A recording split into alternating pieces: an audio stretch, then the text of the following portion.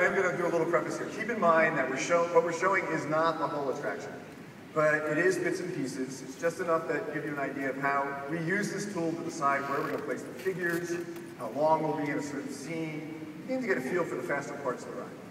I'm going to shut up and let's go for a little ride. I hope, I hope, it's home from my. Oh.